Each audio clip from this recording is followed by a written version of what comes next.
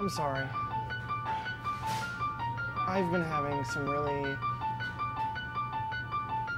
strange days lately.